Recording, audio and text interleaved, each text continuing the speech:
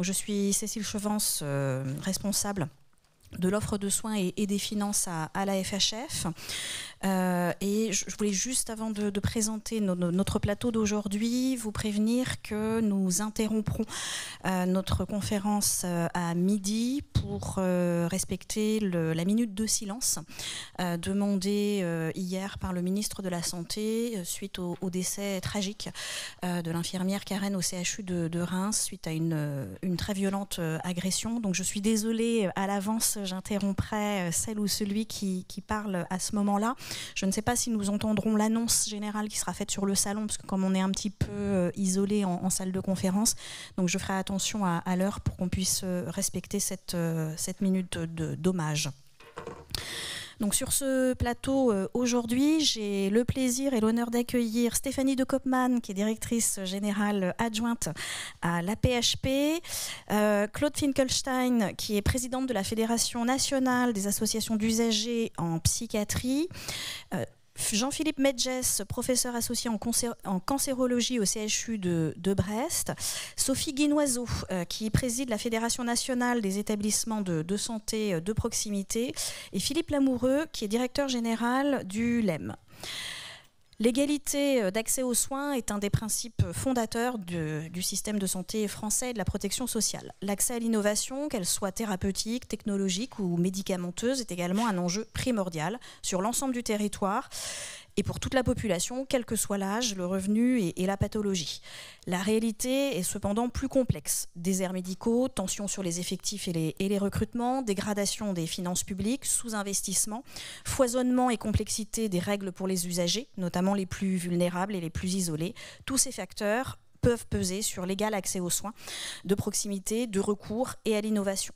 Malgré ces contraintes, les projets et initiatives ne, manquent pas dans les établissements et, au sein des équipes afin d'améliorer euh, et de garantir l'accès aux soins et, aux innovations. Stéphanie, pour démarrer euh, cet échange et cette table ronde, quels sont, est-ce que tu peux nous dire quelques mots sur les enjeux et problématiques actuelles en matière d'accès à l'innovation euh, pour les patients et au-delà des enjeux pour les patients? Est-ce que l'innovation ne peut pas également être un facteur d'attractivité pour les équipes et, les professionnels de, santé? Merci Cécile et je suis ravie d'être avec vous euh, ce matin et, d'ouvrir euh, cette problématique. pour moi, il y a trois types d'enjeux en termes d'accès aux soins, d'accès à l'innovation, parce qu'on sait qu'aujourd'hui, sur un certain nombre de pathologies, l'accès aux soins passe par l'accès euh, à l'innovation. C'est très vrai en cancérologie, mais c'est de plus en plus vrai dans un certain nombre de, pathologies. Il y a trois types d'enjeux. Le premier, c'est déjà que l'innovation soit présente. Euh, on a un vrai enjeu euh, collectif, et collectif qu'il soit établissement de santé, patient, professionnel, à maintenir en France un haut niveau d'innovation et ça nécessite forcément que on, se mobilise collectivement pour maintenir des infrastructures de recherche au top, euh, d'accélérer euh, l'accès à ces innovations, donc l'accès à la recherche. Euh, et en ce sens, on a pu collectivement, CHUS, NITEM, LEM, travailler sur une plateforme de proposition dans le cadre du CSIS qui permet à la France, et qui s'est fixé cette ambition, et cette ambition, ce n'est pas une ambition uniquement économique, c'est une ambition d'accès à l'innovation, parce que si demain, ces innovations ne sont pas présentes, elles ne seront pas présentes pour nos patients. Si on ne réalise pas les essais, les essais partiront. Et c'est cet accès euh, aux médicaments euh, innovants que qu'on doit collectivement défendre. C'est ce qui nous mobilise euh, collectivement. Et donc ça veut dire investir dans des structures dédiées, investir dans la digitalisation, accélérer les délais réglementaires. On a des choses collectivement à faire. On en a fait un certain nombre.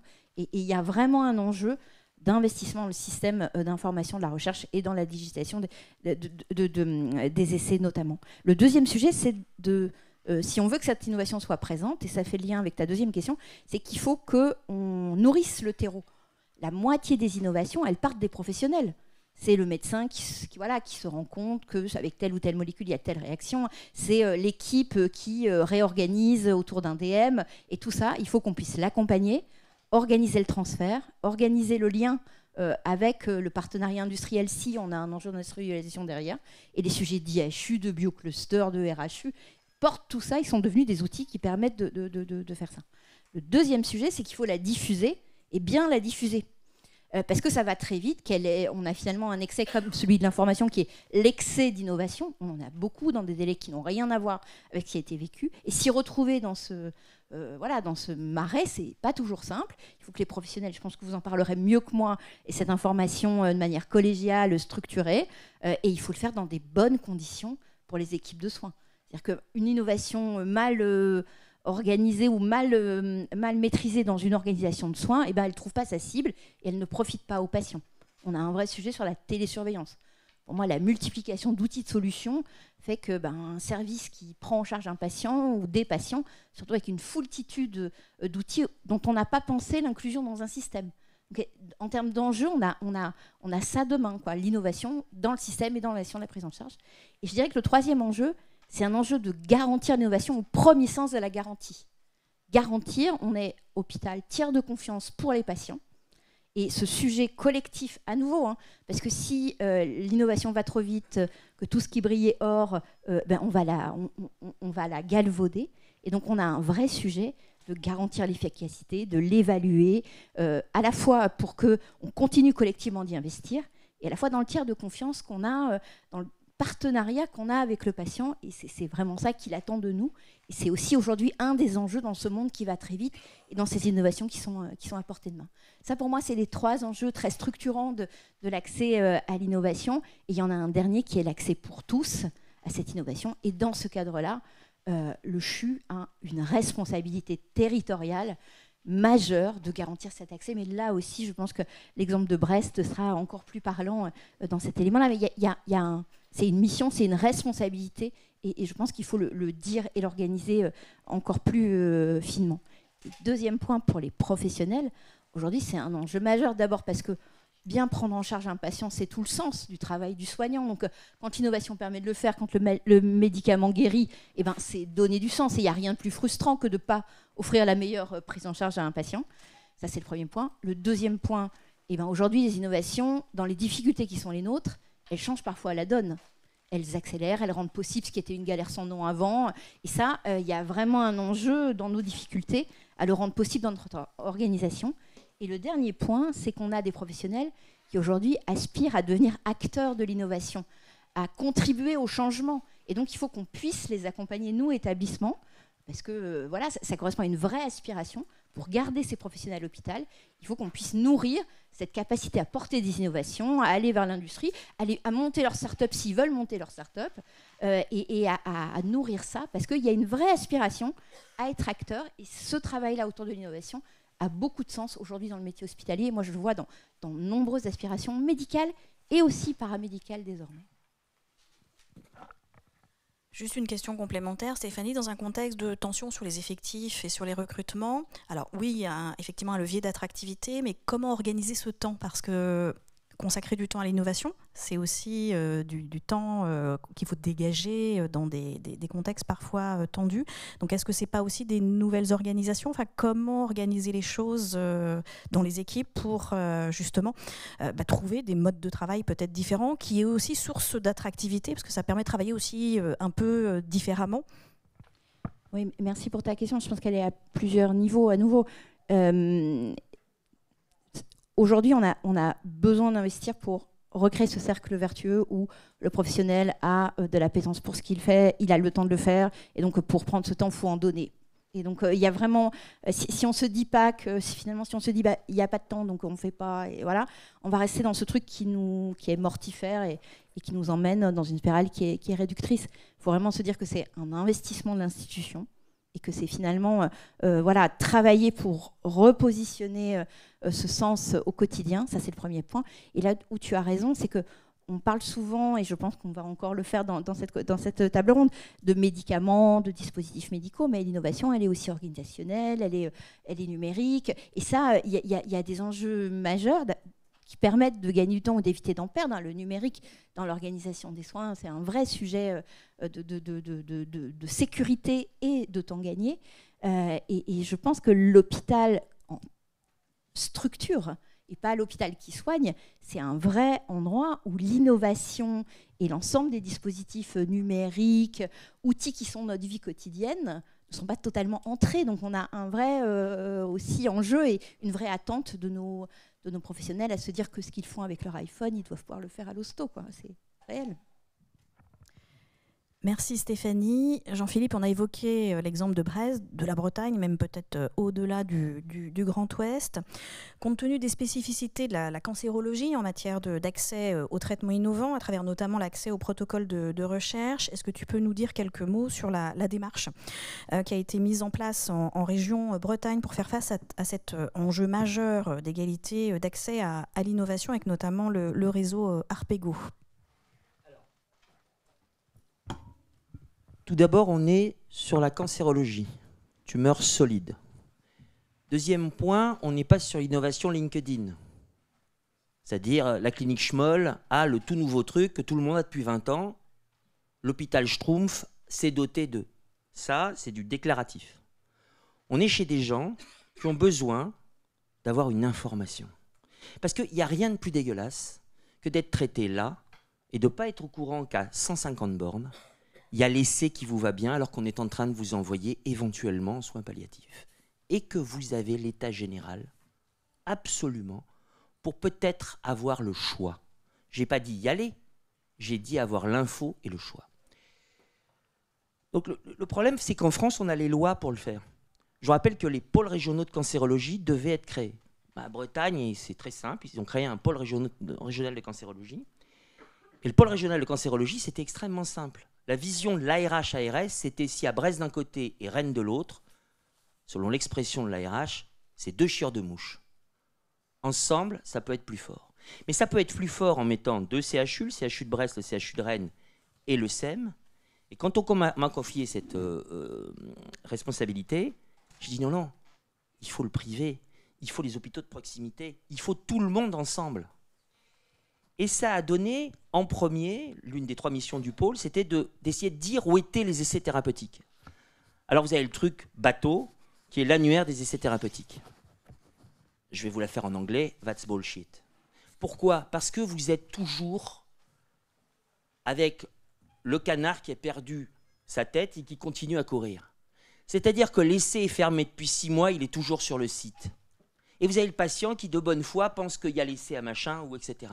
Donc ça, c'est nul.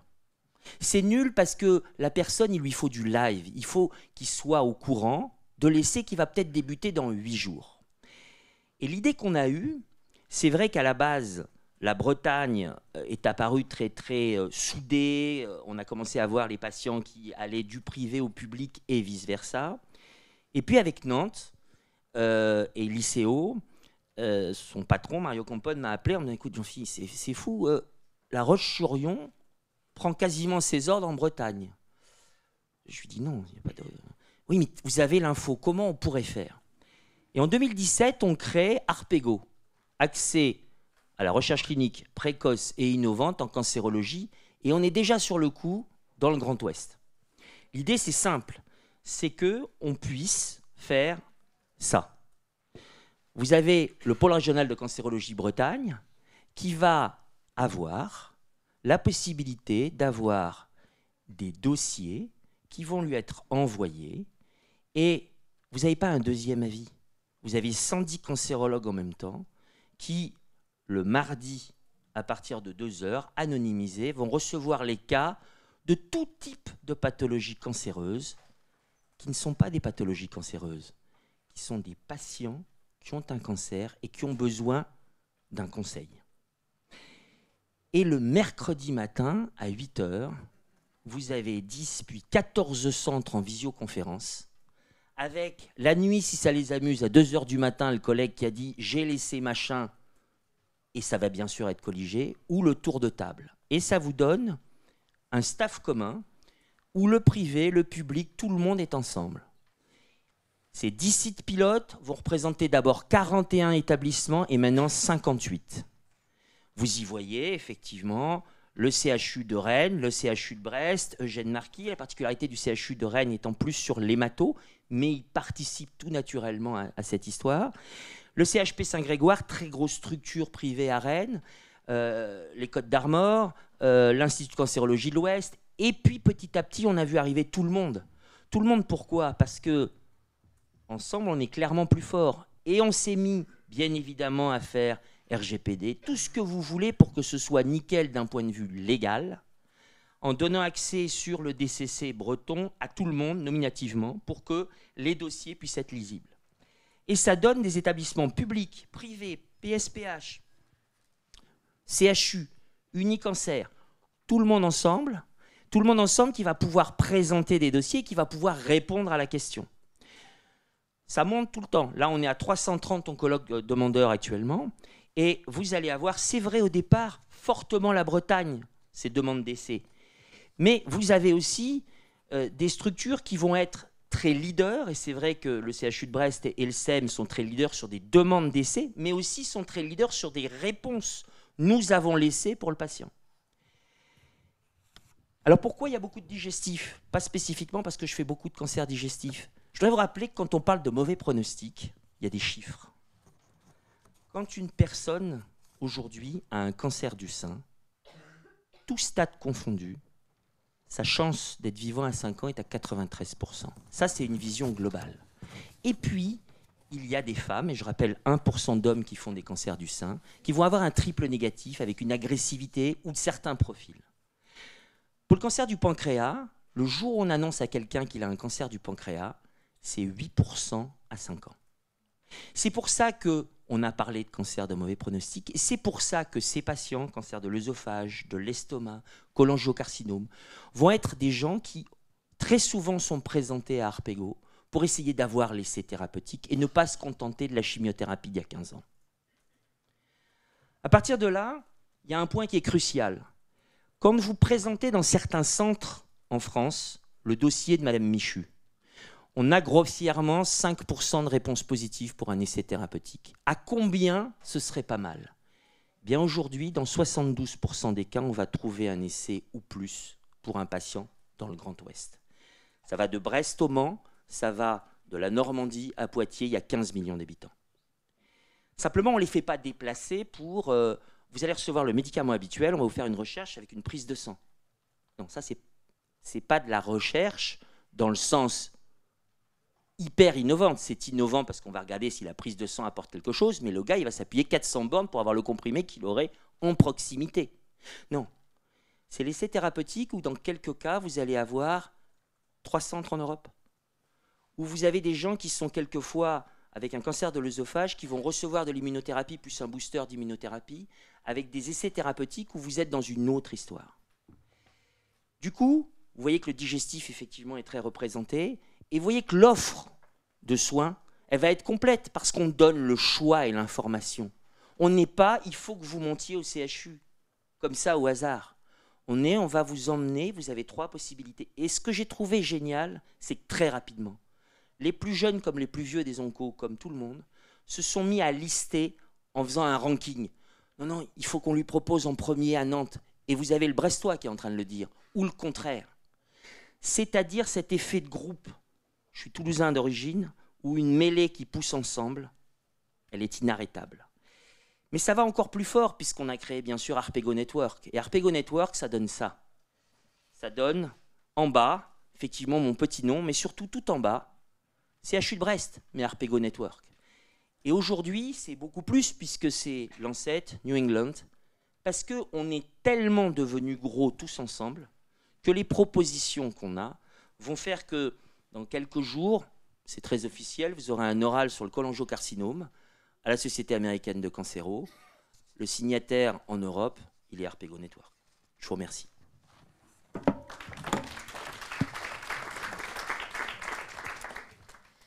Merci Jean-Philippe.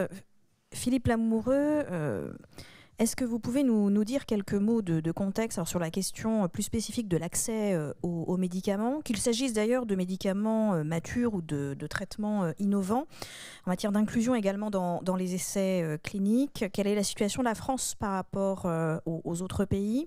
On connaît également le contexte politique hein, autour de, missions aujourd'hui sur la régulation et la question du, financement du, médicament au sein de, l'ONDAM, avec peut-être d'ailleurs un, besoin d'un peu plus de transparence sur sur la question qu'on partage et, quelles sont les, pistes pour un système d'accès plus large, là encore qu'il s'agisse de, médicaments matures ou, innovants Oui, merci. Alors, euh, je vais, peut-être un petit peu euh, déplacer le, curseur par rapport à des problématiques qui sont plus celles de, l'industrie que je représente. Euh, moi, j'aurais tendance à, répondre à votre question en, cinq points. Le premier point, puisqu'on parle d'accès aux soins, il y a certes l'innovation, mais il y a ce que j'appellerais les, médicaments du quotidien. Et je pense que la clé d'entrée, le point d'entrée, c'est nécessairement comment permettre à nos concitoyens d'avoir accès à leurs médicaments du quotidien et ce qui, vous, ce qui nous renvoie, et, vous me voyez arriver, à la problématique des, ruptures d'approvisionnement.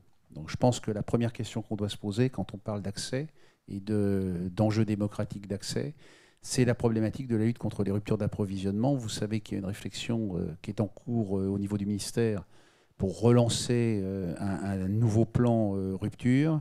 Nous-mêmes, nous avons formulé un certain nombre de propositions euh, dans ce domaine. Il est clair que les ruptures d'approvisionnement augmentent, les signalements de risque de rupture augmentent, mais les ruptures également augmentent.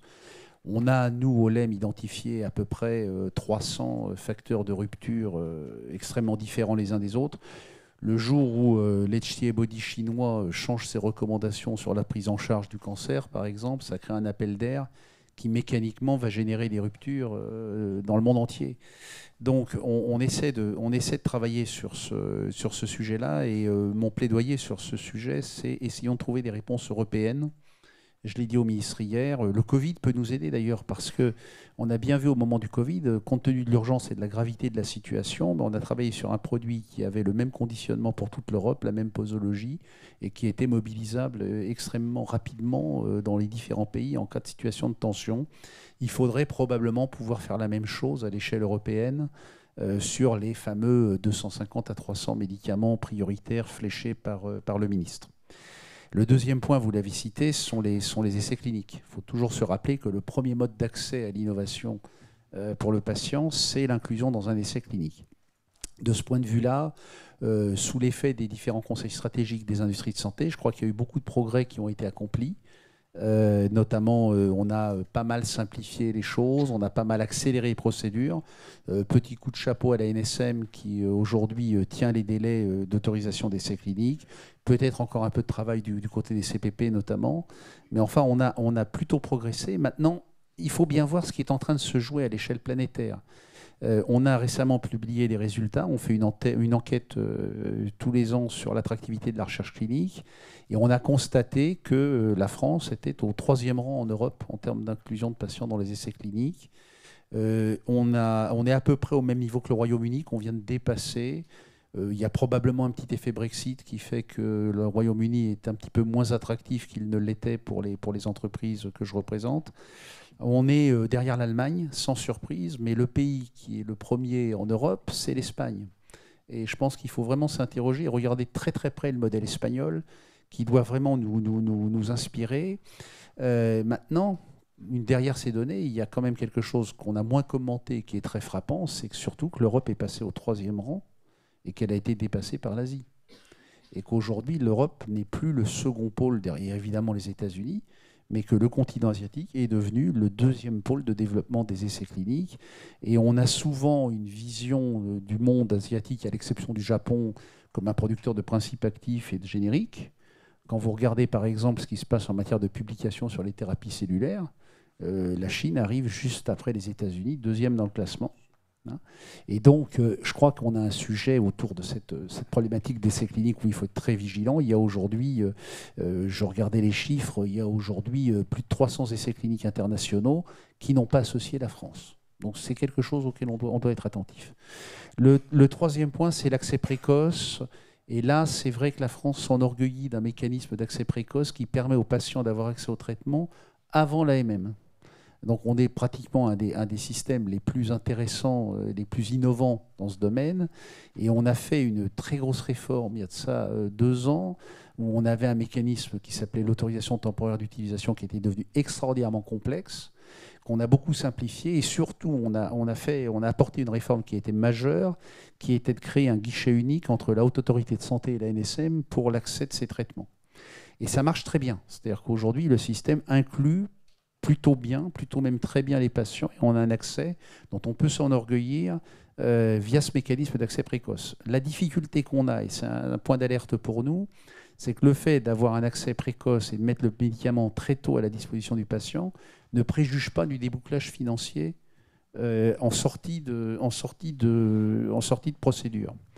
Et c'est vrai qu'on se heurte à deux difficultés. C'est qu'on a, et vous avez vu que la presse en fait largement l'écho, et alors je, parle devant des oncologues, donc je, vais relayer ce qui a été dit, mais les avis de la commission de la transparence sur des produits orphelins en oncologie nous, nous a posé un certain nombre de, problèmes.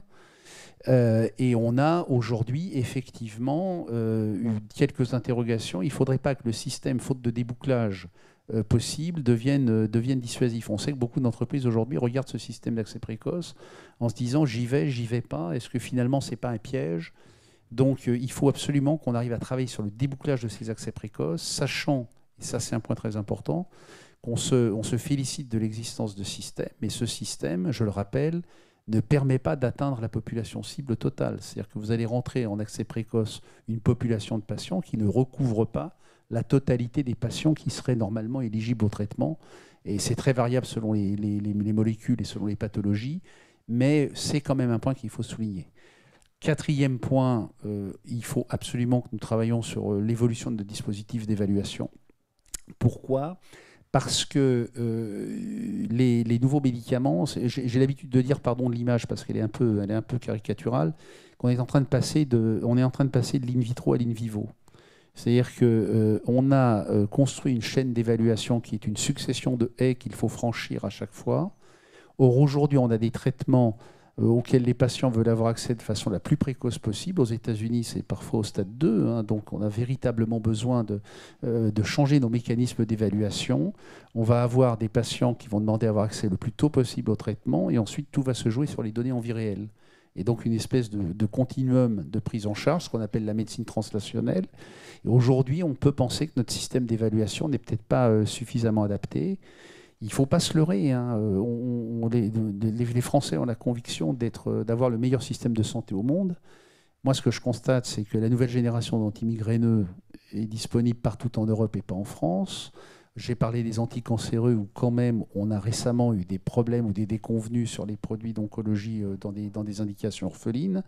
Je pense que, je vais parler sous votre contrôle, madame, et vous, vous me rectifierez, mais que sur les dix dernières années, euh, les nouveaux antipsychotiques ne sont pas rentrés en France alors qu'ils sont rentrés partout ailleurs en Europe. Donc nous avons quand même effectivement un problème d'accès à l'innovation pour ce qui concerne le médicament dans notre pays. Le dernier point, et vous m'auriez voulu de, ne pas en parler, euh, c'est que ça nécessite des financements et que euh, les dépenses de médicaments, vous le savez, on le dit suffisamment au LEM, sont totalement flattes depuis 10 ans. Et effectivement, la problématique du financement de ces innovations euh, va être sur la table extrêmement rapidement. Alors on entend, et puis vous aurez sans doute des questions sur le coût euh, astronomique de ces traitements. J'ai un peu l'habitude de prendre une image là aussi, un petit peu pour, faire comprendre les choses. On est un petit peu dans la situation de l'informatique dans les années 70, où les ordinateurs occupaient trois pièces. Et aujourd'hui, on a, après des années d'investissement, réussi à miniaturiser et à avoir euh, des coûts euh, très amortis et des coûts de production très faibles. Aujourd'hui, sur des produits comme les thérapies géniques, avec des prix très élevés, il n'y a pas de modèle économique derrière. On est en train de bâtir la médecine de dans 10 ans. Et donc, on n'est pas dans une logique de dépenses de fonctionnement pour le système. On est vraiment dans une logique dans laquelle il faut investir. Et c'est vrai que vous parliez de la mission régulation. On attend que cette mission, qu'elle nous donne des pistes. On peut imaginer des mécanismes de financement innovants. Mais ce qui est très clair de notre point de vue, c'est qu'à enveloppe ISO, nous allons très très vite avoir des difficultés dans l'accès à l'innovation et cela va nous, susciter beaucoup de problèmes, aussi bien pour les patients que pour les établissements que pour les industriels. Merci beaucoup. Claude Finkelstein, alors justement, euh, je vais vous demander de, réagir par rapport aux nombreuses choses qui ont été dites. Euh, les patients atteints de troubles psychiatriques et, de handicap psychiques sont euh, malheureusement confrontés à des problématiques spécifiques et accrues d'accès aux soins et à l'innovation avec d'ailleurs des impacts en termes d'espérance de vie et d'espérance de vie en bonne santé qui ne sont pas négligeables, hein, avec des écarts par rapport à la population générale qui peuvent être importants. Alors est-ce que vous pouvez nous, décrire ces spécificités?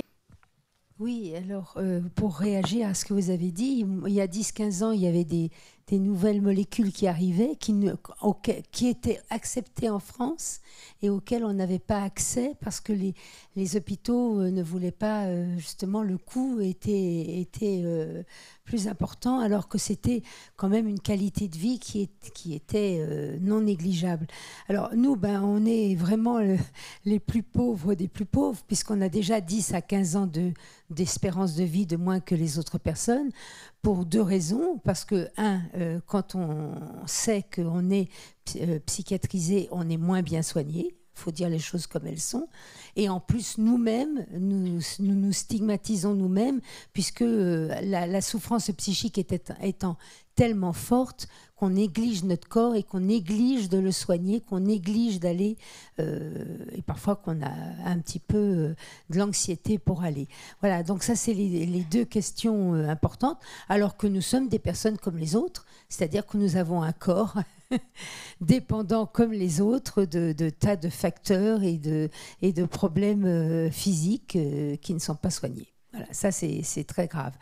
La deuxième chose, eh bien, on a eu euh, aussi le problème des pénuries, notamment pour les antiépileptiques. Là, euh, parce que vous savez qu'il y a certains antiépileptiques qui soignent la bipolarité. Hein. et donc, euh, beaucoup d'anxiété pour retrouver les médicaments. Moi, les personnes, vous leur dites dans une pharmacie, il n'y a pas... et puis aussi, euh, bon, il n'y a, pas, a pas le médicament, allez dans l'autre, allez dans l'autre. Il va faire une, il va faire deux pharmacies. Et puis, qu'est-ce qu'il va faire? Eh bien, il va arrêter son traitement. Ça va être d'une simplicité enfantine. Certains traitements euh, ont une demi-vie, ce qui fait que pendant trois semaines, le gars, il va être en parfaite forme. Il va dire c'est pas la peine de prendre mon médicament, ça sert à rien. Et puis après, ben évidemment, il va décompenser, il va se retrouver à l'hôpital. Il faudra trois semaines pour le réhabituer à reprendre le, bon chemin, ce qui veut dire à peu près deux mois de sa vie perdue. Euh, s'il travaille, euh, stigmatisé immédiatement comme euh, psychiatrisé, etc., etc. Donc c'est vraiment dramatique pour nous c'est une cette histoire de médicaments, surtout actuellement. Il y a l'anxiété de ne pas trouver le médicament ça aussi. Et puis, alors, en plus, chez nous, ce qui a des normes, c'est les effets secondaires. Les effets secondaires non expliqués par les professionnels. Alors, moi, qu'est-ce que j'entends les psychiatres me dire Voilà, si on leur dit qu'il risque d'avoir tel effet secondaire, il va l'avoir parce qu'il va penser l'effet placebo, là, mais dans un autre sens. Bon, euh, c'est faux. Bien expliqué. Euh, voilà, d'abord, c'est prendre les, les psychiatriser pour des cornichons, parce qu'en règle générale, ils vont sur Internet, ils ont toute la... Alors là, vous prenez peur. Hein. Si, si, le médecin vous dit attention, vous risquez d'avoir peut-être un peu de vertige ou un peu de choses comme ça, vous avez confiance dans le médecin, euh, vous vous dites, bon, je fais attention, mais sans plus. Si le médecin vous dit rien, vous allez sur Internet, et alors là, vous avez une telle liste que vous dites c'est pas possible, je vais pas le prendre, je vais avoir mal au foie, je vais avoir mal aux fesses, je vais avoir la tête, voilà. Et ça c'est vraiment très très embêtant. Hein. Il y a quand même en psychiatrie, il y a une espèce de de manière de vivre euh, des psychiatres qui n'est pas celle où je vous ai entendu là, c'est formidable. Écoutez, euh, si on avait ça en psychiatrie, on, serait les plus heureux des hommes. Non, ben non, on n'a pas. Hein.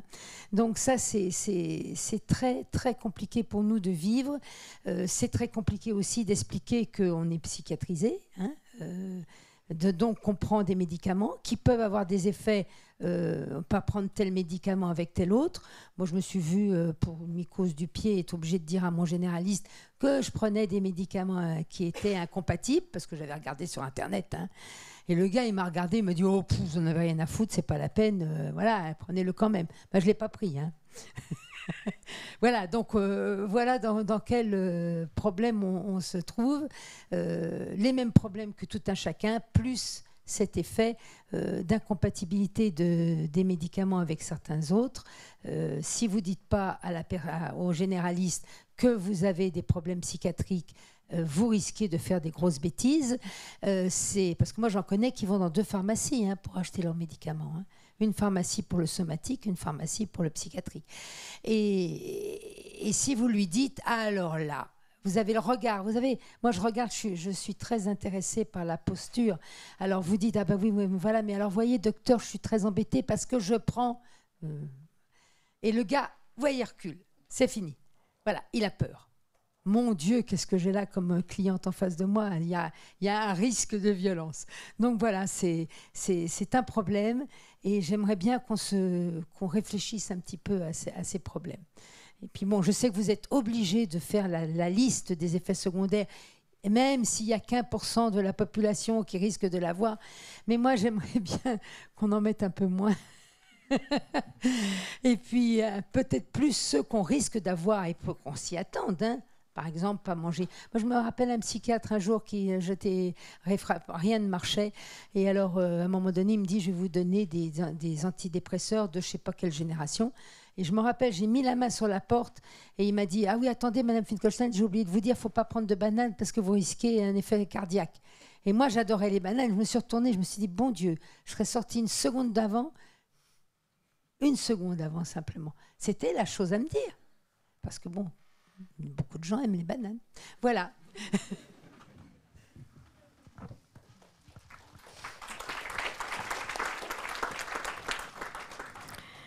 Merci beaucoup pour ce témoignage euh, très direct, très sincère et avec beaucoup de, messages euh, à, l'égard des professionnels de, santé et, du monde hospitalier aussi, euh, évidemment. Euh, on a évoqué la question de, l'évaluation. Tu, l'as évoqué, Stéphanie. Euh, Philippe Lamoureux également en a, en a parlé. Stéphanie, est-ce que tu peux euh, nous, donner ton sentiment en matière d'évaluation de, l'innovation? C'est vrai que l'innovation est aussi un pari et un risque sur l'avenir. On peut avoir aussi des choses qu'on pense innovantes et qui, au final, ne s'avèrent pas avoir une, amélioration du service médical rendu à la population tel qu'on pouvait l'imaginer et c'est logique. Alors comment justement enclencher ce, processus d'évaluation? Comment le faire en commun entre le monde de l'industrie et euh, les professionnels et notamment en ce qui nous concerne les professionnels euh, hospitaliers? Enfin voilà, quels, sont les, enjeux? On a parlé d'évaluation aussi en vie réelle. On a aujourd'hui des recueils de données qui ne sont pas toujours euh, simples, hein, qui demandent de, consacrer du, temps. Enfin voilà, est-ce que tu peux nous, donner ton, avis et ton point de vue sur la question? Alors, je, vais rappeler, en préambule ce que j'ai dit tout à l'heure. Je pense qu'on a un intérêt collectif à l'évaluation. Sincèrement, pour que euh, cette euh, évaluation reste crédible et, quand, je vous écoute, ce que vous attendez du médecin, c'est de pouvoir lui faire confiance. Et donc, euh, il faut que cette évaluation, elle soit impartiale, elle soit organisée de manière complètement structurée et scientifiquement valable voilà, elle peut être rapide, mais elle doit répondre, et je pense qu'on en a tous besoin. Ça, voilà, c'est un enjeu pour les patients, c'est un enjeu pour les structures qui sont ce tiers de confiance, et c'est un enjeu pour les industriels parce que finalement, euh, autrement, on aura une bulle qui se crèvera à un moment donné, euh, dont les effets seront très compliqués. Euh, l'accès précoce est un bon exemple. Aujourd'hui, moi, je, je, vous rejoins 100% sur le fait que ça a permis, euh, dans le dispositif d'ATU qui était extrêmement compliqué, euh, voilà, d'organiser les choses, de permettre un accès plus précis, euh, plus rapide. Aujourd'hui, il s'est fait quand même, et là, côté hospitalier, sans pouvoir organiser dans les pharmacies le recueil de données. Donc ça s'est ajouté au travail des pharmaciens qui ont par ailleurs une mission en termes de médicaments très importante dans un contexte de rupture de, de médicaments. Euh, et avec des outils et des données qui sont les données euh, aujourd'hui euh, des, des, sociétés, faute d'avoir un, sans doute un système national. je pense que là, on a une vraie réflexion. L'enjeu, c'est pas uniquement le découplage financier, il est important. Si vous voulez investir, il faut qu'il y ait de la visibilité. Voilà, moi je vous rejoins 100%, mais il faut aussi que quand c'est pas efficace, on soit capable de le dire. Et je pense qu'il faut que collectivement, on ait ces principes un peu éthiques collectifs qui donne confiance au système, parce que l'innovation, elle fonctionne aussi sur la confiance. C'est aujourd'hui une valeur positive. Voilà, il faut qu'elle le reste et que finalement aucun patient n'ait des craintes d'une manière ou d'une autre euh, de d'entrer dans un essai, de se lancer dans l'innovation. Et donc pour moi, c'est un enjeu à la fois économique, parce qu'il faut que euh, l'innovation soit soutenable. Hein, euh, voilà, on ne fait pas monter les arbres au ciel. Hein. à un moment donné, il faut, faut quand même se, dire qu'il y a un enjeu de soutenabilité à, effacer ce qui n'est pas efficace ou ce qui ne l'est plus et, et, à investir dans ce qu'il est désormais. Euh, et il y a un enjeu de, confiance et d'éthique collective. Et je pense qu'on en a, voilà, vu la vitesse de l'innovation et, et l'espoir qu'on met collectivement et les enjeux financiers qui sont aujourd'hui réunis, on en a tous besoin. Philippe Lamoureux, voulez réagir non, euh, peut-être, pour compléter, une des difficultés, et je, je réagis aussi à ce que, à ce que disait Madame euh, Fickenstein, euh, il y a des aires thérapeutiques euh, dans lesquelles on n'a pas eu d'innovation depuis euh, 40 ou 50 ans. Et quand un produit ou une innovation va, va arriver, va se revendiquer comme innovation pour accéder aux patients, euh, dans les discussions qu'il y aura avec l'autorité de santé ou d'ailleurs avec le comité économique des produits de santé, on va opposer à ces produits des comparateurs qui ont 40 ou 50 ans. Et donc c'est vrai que quand vous arrivez par exemple avec une nouvelle génération d'antimigraineux et que votre comparateur il a 30 ans et il a euh, des prix extrêmement bas puisque les brevets sont tombés et que le produit est génériqué, eh bien ces produits ne vont pas rentrer. Alors c'est vrai que le débat sur le coût, il est légitime. La question qu'on peut se poser, c'est euh, comment font nos voisins? C'est-à-dire réalité, quand on se compare, on s'aperçoit que très souvent, nos voisins, euh, pas seulement allemands, hein, moi je, je- j'ai des, j'ai adhérents qui m'expliquent que leur traitement est en Roumanie et qu'il n'est pas accessible en France. Donc il faut véritablement remettre ces problématiques d'évaluation, et je vous rejoins, remettre ces problématiques d'évaluation euh, à plat. Jean-Philippe, une réaction sur euh, la question de l'évaluation? Alors, je, vais vous donner un exemple très simple. Jean-Charles Soria, grand patron à l'époque à Gustave Roussy, euh, préside un, ESMO qui est international, qui est mondial. Ce jour-là, on est sur une session présidentielle où on parle de patients porteurs de cancer du poumon. Et tombe devant nous en même temps que la présentation des New England, un par un, en- live en même temps. Un des essais nous montre que l'immunothérapie, avec un repérage préalable, versus chimiothérapie, il n'y a plus photo. Il n'y a plus photo. Et Jean-Charles va dire avec juste raison, oui mais voilà, il va y avoir l'approval FDA, il y, il y est là, dans 15 jours. Il va y avoir l'Europe, le EMA, qui va dire oui, rapidement. En combien de temps on aura accès à ce médicament en France? Il avait dit 15 mois, il s'est trompé, c'était 16. 16 mois pour que finalement on puisse le prescrire. Quasiment jour pour jour, il y a un an et demi, j'étais à Brest, dans mon salon, puisque avec le Covid, il n'y avait pas besoin d'aller à San Francisco, où il y avait la Société américaine de cancer, où j'étais en présidentielle et où je présentais les résultats finaux de chimio-immuno versus chimio chez les patients porteurs de cancer de l'œsophage, inopérables ou métastatiques. Il n'y a pas photo. Il n'y a pas photo. Il n'y a pas photo. AP2, un mois et demi plus tard, c'est-à-dire accès sur les centres autorisés à faire de l'immunothérapie, cadrés, etc. Ça, c'est la réalité effective. Et j'ai eu beaucoup d'émotions parce que quand je suis arrivé il y a 30 ans comme interne à Brest, on m'a expliqué, euh, oui mais tu sais ici c'est cancer de l'œsophage et de l'estomac, et, et au bout d'une semaine il y a une jeune femme qui avait 27 ans qui est morte dans mes bras, Jean-Philippe, et à qui on m'a dit ça va être chaud, minute de silence.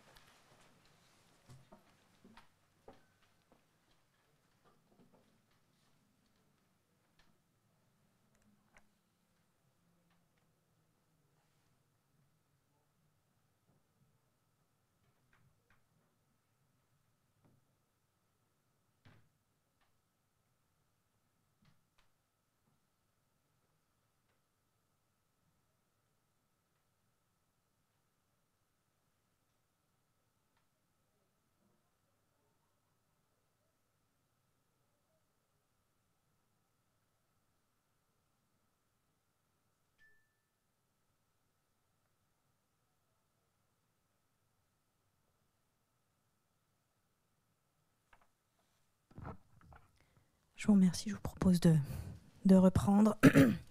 Désolé Jean-Philippe, mais Il c'était n'y a absolument important. aucun problème et Dieu sait si c'était important. Résultat des courses, l'accès est plus simple. Maintenant, faisons très attention à une chose. L'intelligence artificielle et le virtuel qui nous donnerait la réponse à des médicaments qui n'ont pas encore l'AMM et où au milieu on ne ferait pas attention pour une même indication à du hors AMM, sans être sûr qu'on a bien tous les effets secondaires, etc., il faut qu'on fasse attention. Par contre, les données de vie réelles qui vont nous permettre, sur des populations qui ne sont pas toujours les populations qui étaient les populations zoomées de départ dans l'essai, de vérifier s'il n'y a pas des effets secondaires, que ces effets secondaires étaient inattendus, qu'on les ait, qu'on puisse réfléchir comment les contrer, ça c'est stratégique. Et vous l'avez compris, la pharmacovigilance, c'est vrai qu'à Brest, ça nous est très fortement dans le cœur. Merci Jean-Philippe. Sophie Guinoiseau, euh, les établissements de santé de proximité ont une place euh, toute particulière dans le maillage territorial et également comme euh, acteurs de, premier recours. Alors, qu'est-ce que l'innovation au sein d'un hôpital de, de proximité? Alors, on va faire un petit peu un grand écart. Déjà, l'hôpital de proximité est assez méconnu, donc en quelques chiffres, je veux rappeler le contexte de cette articulation hospitalière. 305 hôpitaux labellisés aujourd'hui, 308 bientôt, une centaine d'ex-hôpitaux locaux, des établissements qui vont de 200 lits à 1000 lits, 85% publics, le reste privé non lucratif principalement. Euh, on est vraiment sur un maillage sur l'ensemble du territoire avec comme contrainte pour les établissements labellisés de la médecine obligatoirement, pas de chirurgie, pas d'obstétrique. Au-delà de ces deux contraintes-là, périnatalité, psychiatrie, urgence, selon les besoins du territoire, on peut déployer une offre. L'activité médico-sociale est aussi tout à fait caractéristique de l'hôpital de proximité. En moyenne, on peut estimer que la moitié des lits portés par un hôpital de proximité va être médico-social. Et sur sa structuration juridique, il y a des structures autonomes, rattachées, conventions de direction commune. Donc vraiment une grande diversité sur le territoire. Un point commun, principalement en zone rurale, voire périurbaine, évidemment. L'hôpital de proximité, donc, c'est une innovation en soi. Il y a 60 ans d'histoire. On était hôpital rural dans les années 50, hôpital local dans les années 70. Maintenant, hôpital de proximité, on est aujourd'hui défini par nos missions. On en a quatre. On a le décloisonnement ville-hôpital, le décloisonnement sanitaire médico-social, prévention, promotion de la santé, et on va avoir la permanence des soins avec une responsabilité partagée avec la médecine de ville. Ça, ce sont nos missions on déploie nos activités pour y répondre et on les déploie effectivement avec une clé de lecture purement territoriale pour un bassin de population au plus près du lieu de vie habituel. Alors l'hôpital de proximité, c'est un lieu où on innove. Nous n'en avons pas le choix, mais c'est un honneur. On innove parce que nous rencontrons à la fois des difficultés similaires au reste du système hospitalier, mais pas que. Euh, similaire en quoi? Aujourd'hui on entend parler de l'accès aux soins non programmés, nous avons cette contrainte. On entend parler du contexte de raréfaction des ressources financières, humaines évidemment. Ça, c'est l'ensemble du système hospitalier. Mais on a le plaisir, dirais-je, d'avoir eu un petit peu d'avance puisque nous sommes les héritiers des hôpitaux locaux. Et sur nos territoires, on s'adresse aux personnes les plus éloignées du soin. Trois quarts des personnes les plus éloignées du soin sont en territoire rural. Ça signifie qu'il va y avoir plus de déserts médicaux depuis plus longtemps. Ça signifie également que la population est plus âgée, moins mobile, avec moins d'accès au transport. Et puis enfin, on a aussi des problématiques plus complexes, que ce soit au niveau euh, des pathologies, avec un parcours plus long, on s'inscrit sur le parcours patient euh, sur le long terme, euh, et parfois dans le parcours social. En somme, innover à l'hôpital de proximité, c'est accepter qu'on n'est pas trop dans le cure et plus dans le care. Donc on est moins dans le curatif que dans une démarche d'accompagnement. Et pour pouvoir accompagner, il nous faut quoi? Du temps. Donc l'innovation chez nous, elle a comme premier objectif de réinjecter du temps auprès du patient pour garantir cet accompagnement. C'est ça le sens premier de nous, pourquoi on va aller innover. Alors, évidemment, c'est un grand écart, je vous le disais, euh, nous ne sommes pas producteurs, d'innovation technologique de pointe. Nous sommes contributeurs et partenaires, mais nous ne sommes pas producteurs. Par contre, on est un excellent terrain, terreau d'expérimentation et de déploiement de solutions technologiques, puisqu'on a quand même des plus petites structures avec un circuit décisionnel relativement court et une proximité de pensée quand on va être au niveau de l'innovation à la phase après le concept et avant l'industrialisation pour pouvoir tester si sur le terrain on y trouve notre compte et on aboutit sur l'objectif premier. Alors, je vous parlais de réduire les distances tout à l'heure parce qu'on est en territoire rural. Euh, réduire ces distances, pendant la période Covid, il y a eu un boom de la téléconsultation, par exemple. Ça a été pour nous euh, une opportunité aussi d'équiper les établissements, d'aller plus loin, d'aller plus vite. Mais attention, il ne faut pas virer dans le solutionnisme technologique. En aucun cas. Parce que, parlons culture techno. Juste culture techno. 7 téléconsultations sur 10 ont lieu en milieu urbain. 65% des plus de 75 ans n'ont pas de smartphone. Et 6 millions de personnes n'utilisent pas Internet. Donc, moi j'ai suivi les travaux de Chicago, évidemment comme tout le monde, j'ai entendu parler de l'intelligence artificielle. On va dire que ce n'est pas aujourd'hui le cœur de l'innovation en hôpital de proximité. Euh, et, pourquoi ce serait un écueil quand même de virer dans l'hypertechnologie pour nous? Parce qu'en fait, vous le disiez tout à l'heure, euh, s'il n'y a pas d'adhésion aux soins, on loupe la cible. Donc si ces populations aujourd'hui ne sont pas euh, dotées des outils et des moyens pour pouvoir accéder à l'innovation, on passe à côté du sujet, mais complètement. Et ça, c'est particulièrement vrai, je le redis, chez les populations qui sont en zone rurale et les plus modestes. Et bien sûr, quand on cumule les deux, ça va encore plus loin. Alors, est-ce que pour autant, on, va s'arrêter là? Non. En hôpital de proximité, en fait, on est déséquilibriste. On va chercher la bonne technologie qui va répondre à la bonne problématique et pour lequel nos usagers, les patients, vont pouvoir trouver une solution pour un meilleur soin. Mais on va la coupler obligatoirement avec des innovations organisationnelles. Euh, je sais que vous me reposerez la question tout à l'heure, donc j'ai gardé un peu les innovations organisationnelles pour plus tard, mais vous verrez que ça, on est vraiment sur un travail d'équilibriste. Merci beaucoup.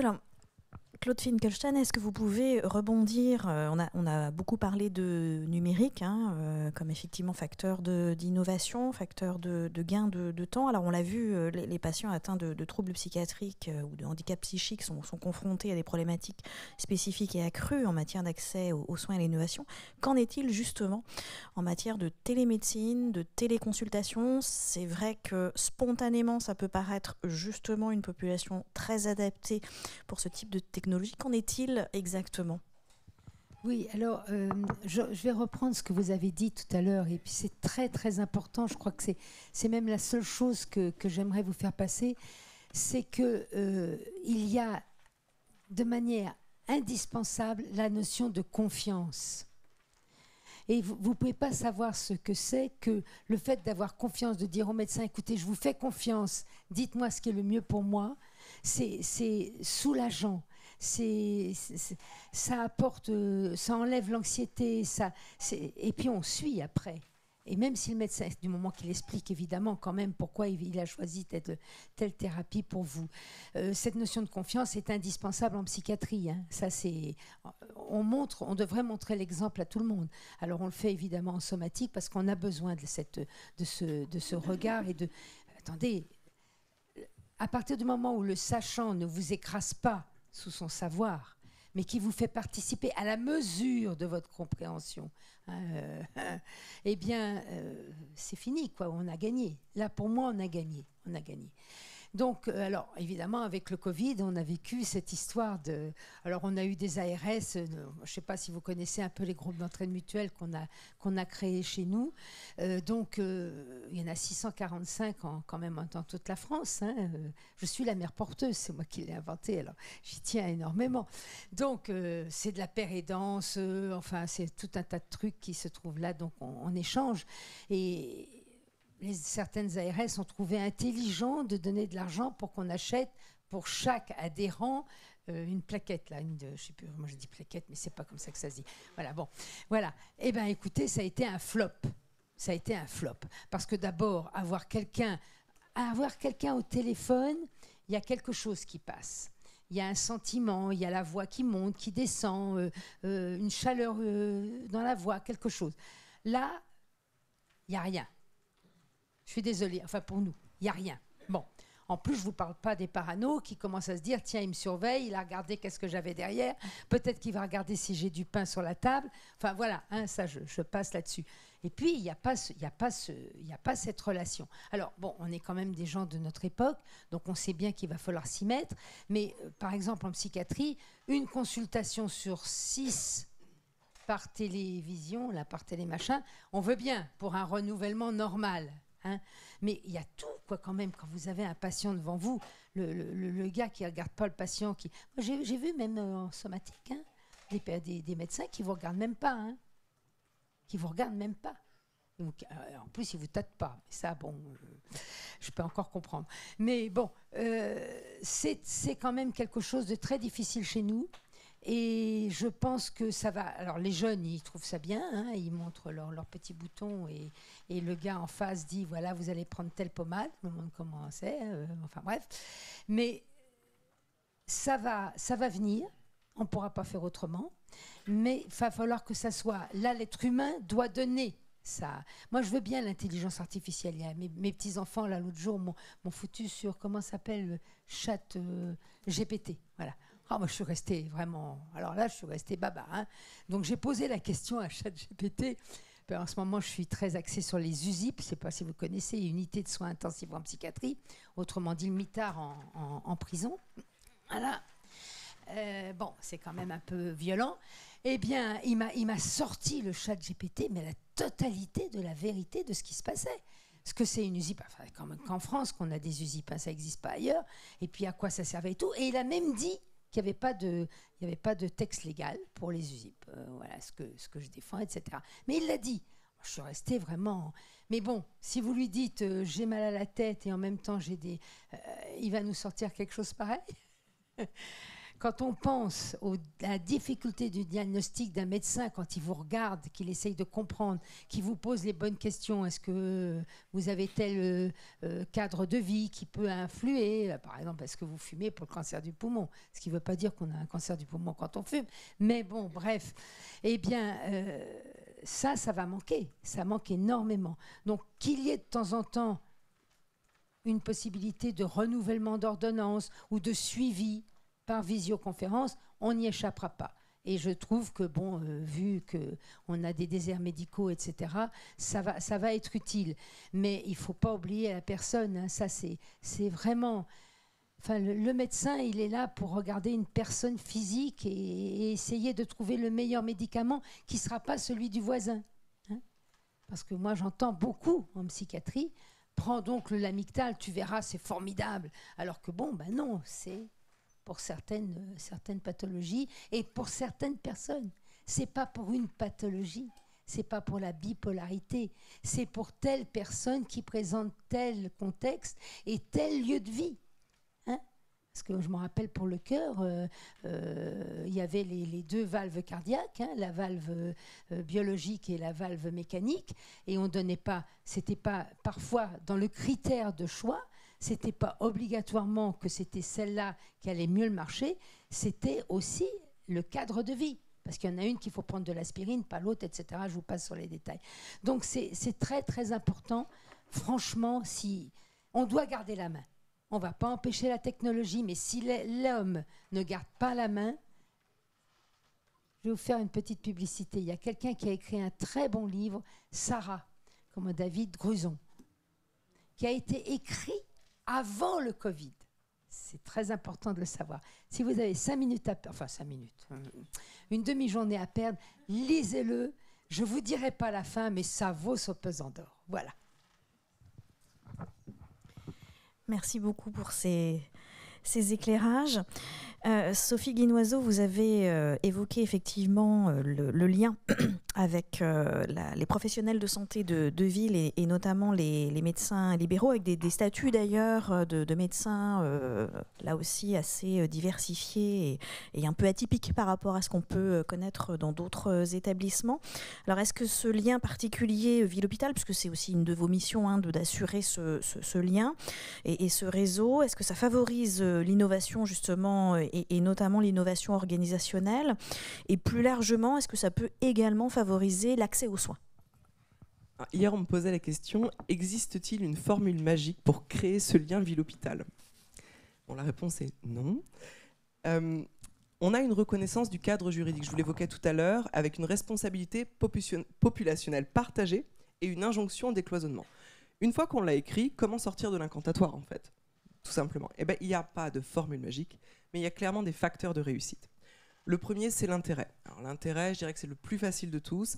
Aujourd'hui, euh, même si on regarde tout simplement à courte échelle, euh, l'intérêt d'avoir des entrées directes pour nos médecins dans les territoires, dans nos structures directement, l'intérêt pour euh, les CHU, pour les grands centres hospitaliers, de pouvoir en amont des urgences avoir des solutions de terrain et de pouvoir avoir en aval des urgences des solutions d'adressage, évidemment cet intérêt, il est partagé, il est global, il ne fait presque plus débat.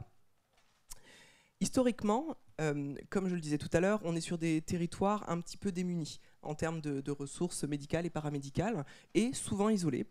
Euh, donc on- ça fait longtemps qu'on se parle. Euh, pendant le Covid, ça donnait des discussions un, un petit peu parfois créatives parce qu'on n'avait pas forcément les mêmes manières de voir et on trouvait ensemble des solutions logistiques notamment pour apporter la solution de terrain.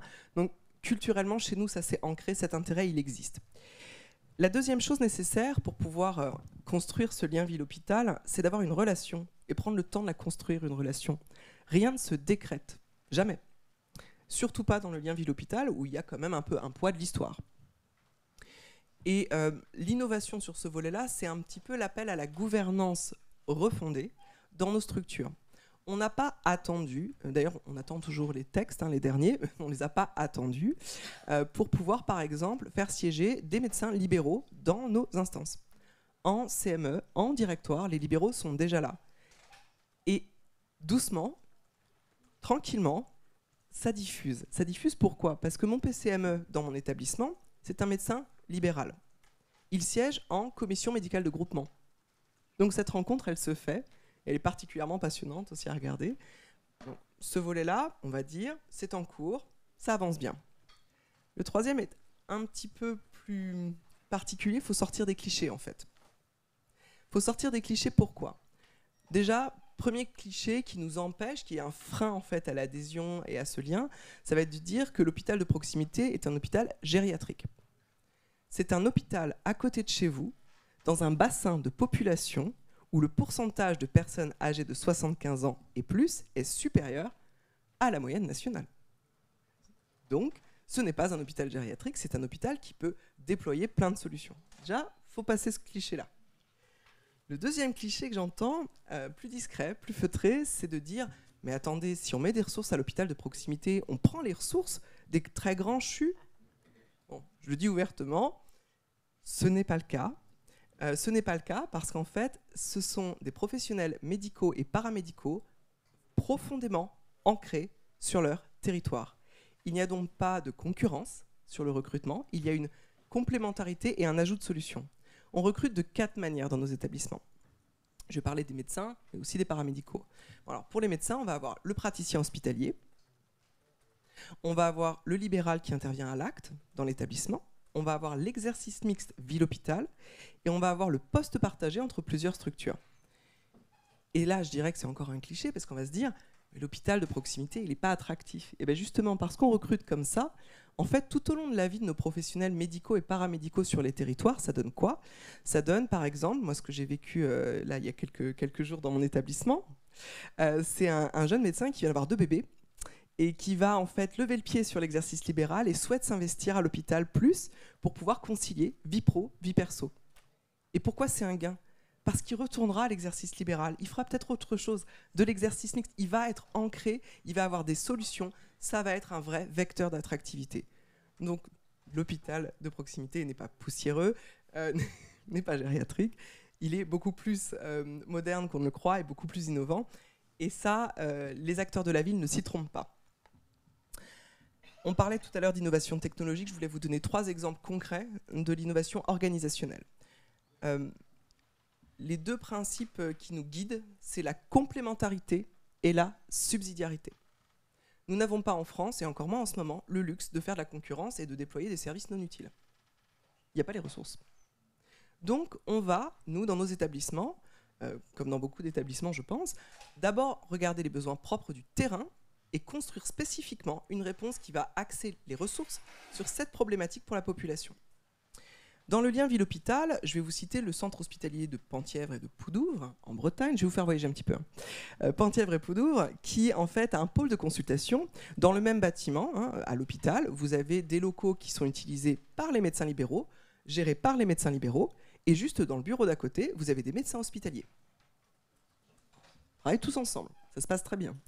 Ça va même plus loin, puisque cette innovation et ce fait de travailler ensemble depuis des années maintenant, il est acculturé. Et donc, il y a un partage, permanence des soins ambulatoires, permanence des soins établissements. Ça va même encore plus loin, puisque quand on a une difficulté, notamment en période estivale ou période de tension, euh, d'avoir l'accès aux, consultations non programmées, euh, une réunion se fait et autour de la table, les médecins libéraux et les médecins hospitaliers prennent la carte et disent OK, euh, les besoins ils sont à tel secteur, tel secteur, tel secteur, on va se répartir aujourd'hui la réponse à apporter à la population. C'est quand même plutôt pas mal ce qu'ils font au CH2P. Euh, dans le déploiement euh, des solutions vers le domicile, on a beaucoup entendu parler de Laval, c'est un vrai sujet en ce moment.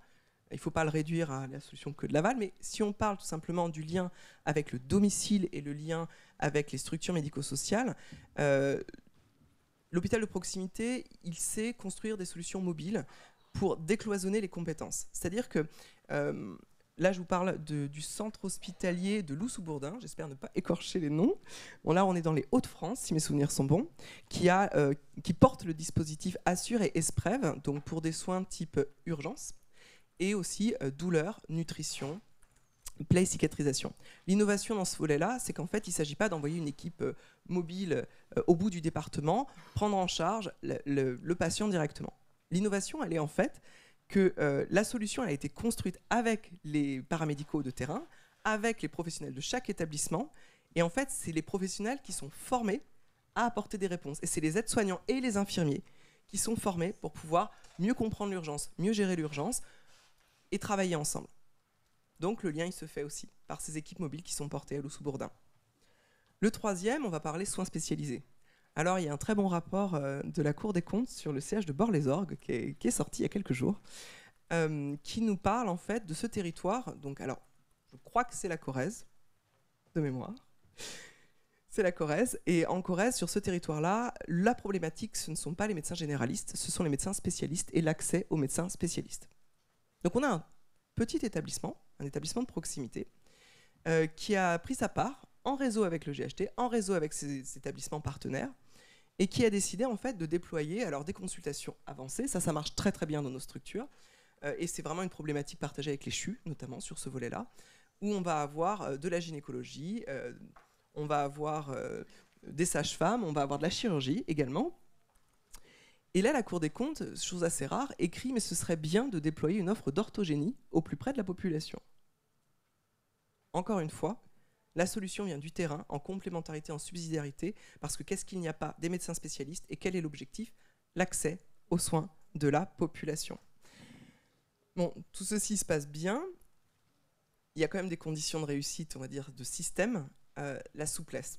On est des petites structures, on a des circuits décisionnels courts, euh, on a des petites équipes, donc ça se parle en direct. hein, Il n'y a, a pas besoin de changer de bâtiment pour se parler généralement. Euh, mais cette souplesse, on y tient beaucoup parce que justement, c'est ce qui va nous permettre en fait d'être force de proposition. Et on tient à pouvoir faire cette expérimentation, proposer ces innovations, être dans des solutions de terrain parce qu'en fait, le problème, c'est pas de répondre dans 10 ans. Le problème, pour le traiter, il faut répondre demain. On espère du coup que ce maillage territorial des hôpitaux de proximité là qui, fonctionne bien puisse être préservé, même dans un contexte euh, un peu accidenté tel qu'on le vit aujourd'hui, voire renforcé, parce qu'il y a des territoires sur lesquels ce maillon nécessite d'être réinvesti encore. Voilà pourquoi je pense que euh, le lien ville-hôpital, il n'y a pas de solution miracle, mais il y a clairement des facteurs de réussite. Eh ben, merci beaucoup pour tous ces témoignages euh, qui montrent là aussi euh, toute l'effervescence hein, en matière d'innovation avec beaucoup beaucoup de choses qui se fait au niveau des, professionnels de santé à, tous les niveaux, en, en lien évidemment avec les, industriels. Alors, la thématique de, la table ronde était très vaste. On a euh, balayé pas mal d'aspects, d'éléments euh, et de liens entre innovation et accès aux soins avec beaucoup, beaucoup de thématiques, y compris le lien innovation et banane, auquel je n'aurais pas forcément spontanément pensé. Donc on a, on a vraiment brassé très, très, très, très large. Avant de passer aux questions, est-ce que l'un ou l'une d'entre vous aurait euh, quelque chose à ajouter? Est-ce qu'on euh, a un aspect particulièrement euh, important, prégnant, ou une, réaction ou, non On a à peu près fait le tour des principales thématiques, des quelques, points d'éclairage qu'on s'était s'était fixés? Est-ce qu'il y a des questions dans la, la salle? Le plus difficile, c'est d'être le premier ou la première à se lancer, non, c'était clair, complet. J'espère que non, non, je sais juste qu'on était euh, complet et, clair. Non, vraiment. Personne se lance. On a des timides. Ah, voilà. Si vous pouvez vous, présenter juste avant de, de poser la question. Oui, bonjour, merci pour euh, cette très très belle euh, table ronde. Euh, donc Alexandre Menikechi, je suis consultant en, e-santé. Euh, je, pose la question presque pour, pour pousser l'auditoire, en pousser d'autres.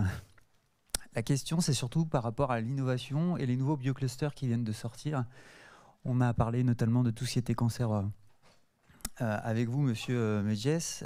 comment est-ce que vous voyez donc l'arrivée des bioclusters comme le, le PSCC et également pour vous, Madame Finkelstein, euh, comment est-ce que vous voyez l'arrivée du biocluster Brain and Mind qui, lui, va être pour une fois focalisé sur tout ce qui est euh, euh, maladie neurodégénérative, santé mentale notamment et autres troubles d'essence? Je vais me permettre de répondre avec Jean-Philippe et puis voilà, en tant que patiente, je pense qu'il y a effectivement beaucoup d'espoir autour de ces, de ces bioclusters. la PHP participe aux deux bioclusters, euh, que ce soit celui euh, PSCC avec Gustave Roussy et avec Curie. Et c'est vrai que euh, pour nous, il y a, un vrai enjeu d'accélération entre le moment, enfin, vous l'avez évoqué tout à l'heure, hein, ce, moment où aujourd'hui on est, on est encore trop, trop lent entre bah, une intuition, une idée, un premier sujet, et puis la capacité à aligner tous les acteurs pour aller au bout et aller à la commercialisation euh, et à la mise en œuvre du, du, médicament. Donc en cancéro euh, et sur le PSCC, il y, a, il y, a, des enjeux de plateforme commune, de mise en commun de nos données euh, de manière à les organiser pour faciliter des essais. Ou, voilà, il y, a, y, a, un moment donné acteurs publics privés qui, autour de problématiques précises, essayer de s'aligner et d'accélérer de, les choses. Ça, c'est pour le cancer. Pour Brain and Mind, euh, enfin, je pense que la table ronde de ce matin parle d'elle-même sur des enjeux en neurologie et en psychiatrie. Il y a des choses qui se mettent en place. Il y a l'accélérateur impact sur les, sur les, euh, les startups et les solutions numériques à apporter un certain nombre de réponses. Mais on voit que là, l'enjeu avec ce biocluster, en tout cas, nous, c'est ce qu'on porte, c'est d'arriver à nouveau à euh, ordonner, structurer les données, euh, mettre à disposition euh, des outils qui permettent d'accélérer, de faire de la vie réelle, de tester, et puis également créer ces structures de recherche qui sont particulières en psychiatrie et, dont aujourd'hui on voit que voilà, on n'a pas forcément une finesse dans la composition des, des, personnes y participant. On a finalement des réalités bien plus importantes que, que ce qu'on peut aujourd'hui modéliser. Et donc il y, a un vrai enjeu à, révolutionner la recherche clinique avec ce biocluster. En tout cas, nous, hôpital, c'est ce qu'on en attend pour, pour nos équipes. Je ne sais pas si Jean-Philippe, vous voulez compléter. Alors, je, vais vous répondre, euh, si vous le permettez, uniquement pour les patients porteurs de cancer et si vous le permettez aussi pour les patients porteurs de cancer solides. Pourquoi c'est complètement différent? En hématologie, vous avez l'équivalent de l'attaque des clones. Si vous vous rappelez le Star Wars, vous trouvez une clé, ça arrête tout. Le génie des cancers euh, solides, c'est la multiplication. Donc si vous avez par exemple de la bio avec une euh, biotech pas une patienthèque, une personnothèque. C'est pas pareil une personnothèque. Une personnothèque, c'est pas simplement avoir un bout de tumeur. Il y a quelqu'un autour. Et notre problème, c'est que si vous avez le bout de tumeur du départ, on sait que dans un pourcentage non négligeable de cas, on s'en fout. On s'en fout parce que c'est le gars après. Donc, toute notre problématique, c'est la rigidité, dans le bon sens du terme, des données, l'évolutivité des données. Je vous ai évoqué tout à l'heure le côté live. Un annuaire des essais thérapeutiques qui n'est pas en live et qui n'est pas déjà sur les essais qui vont commencer il y a 15 jours ne sert à rien. Je reprends sur l'autre côté, travailler ensemble, fonctionner pour qu'on aille de la cellule aider la personne par définition. Maintenant, il faut toujours se rappeler de l'histoire. Euh, vous avez une molécule très très ancienne qui s'appelle l'oxaliplatine. L'oxaliplatine, à l'époque, elle a été jetée à la poubelle parce qu'elle faisait gerber les, les, souris. Et c'est des gens de Gustave Roussy qui ont dit non, mais ça marche vachement bien. Et à l'époque, peu importe le labo, c'est un labo qui avait pris le, truc et c'est un labo français qui a, qui a récupéré. Donc tout ça pour vous dire que les clusters à un endroit donné, c'est bien. Ce qu'on est en train d'essayer de faire à l'Europe, c'est des réseaux d'excellence où on parle tous ensemble. Et ça va plus loin encore que le cluster. Je suis dans ceux qui sont en train d'écrire ce qui vont être les centres d'excellence en cancérologie au niveau européen. Arpego peut être un cluster.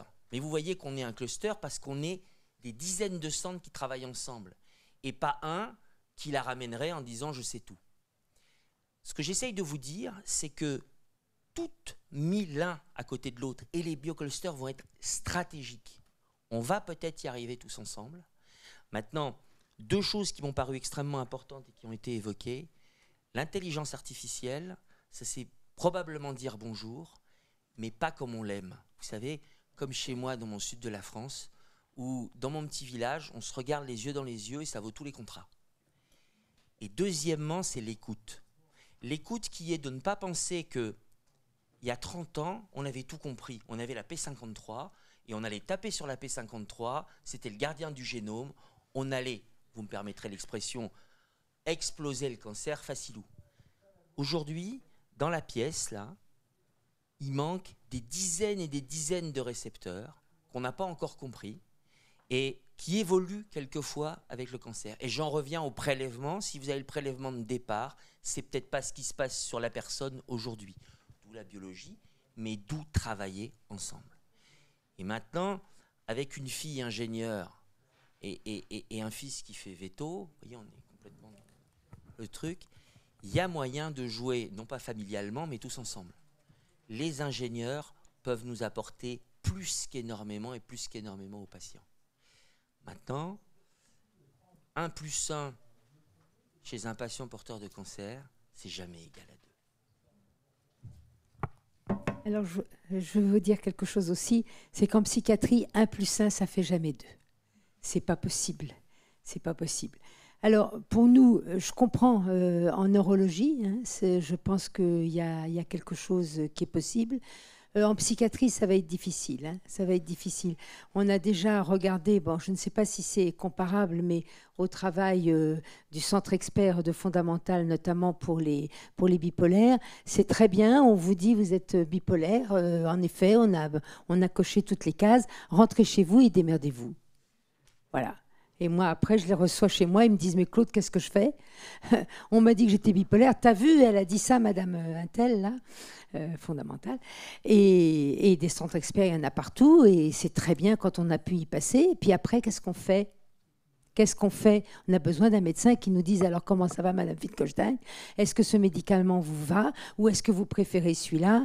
Ou est-ce que, etc. Et avoir la, la, possibilité, notamment chez nous, de pouvoir aller voir le médecin et dire vous me donnez 50 mg, j'aimerais bien essayer 30 pour voir si des fois ça marchait. Hein vous me suivez pendant quelques jours. Par exemple, en Belgique, ça existe ça. Euh, si vous voulez changer de molécule, vous pouvez aller vous faire hospitaliser, non pas interner, dans une clinique pendant 10 ou 15 jours pour essayer le nouveau médicament. Ça, par exemple, c'est intéressant. Je parle en psychiatrie. Hein. Pour le reste, le cancer, je ne sais pas. Enfin, j'en ai eu, enfin, j'en ai, eu un, et j'ai de la famille qui en a. Et c'est évidemment, c'est quand même beaucoup l'endroit où on est, hein, selon la réponse. Hein quand même maintenant. J'ai compris maintenant, j'ai compris. Si j'ai quelque chose, je filoche en Bretagne. Alors là, j'y suis tout de suite. Alors, ne, ne vous, ne vous méprenez pas sur ce que j'ai dit. Vous avez bien compris ce que je veux dire. C'est que les bioclusters sont très importants. Ils sont dans le cadre d'une chaîne où tous ensemble, de façon vertueuse, on va apporter aux patients. C'est juste ce que je dis.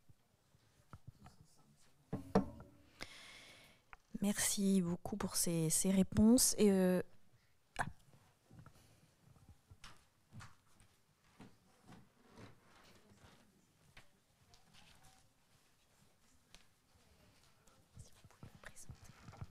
Merci, effectivement, ça a permis de lancer le débat. Euh, désolé, je suis un autre consultant euh, pour le cabinet Next Step, je m'appelle Guillaume Sublet. Euh, J'avais une question par rapport au point enjeu démocratique et j'aurais aimé avoir votre position par rapport à la prise en compte de l'expérience patient. Et, le rôle que ça peut avoir justement dans l'accès aux soins, aux innovations, peut-être par rapport à certains problèmes qui ont été, qui ont été évoqués. Est-ce qu'on est sur la bonne voie?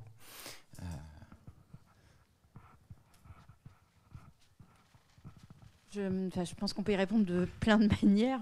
Euh, mais si on prend un peu le fil qui est. moi, je vais prendre le fil qui est C'est clinique, qui a été un fil qu'on a tiré, euh, Jean-Philippe et moi, sur pas mal de sujets.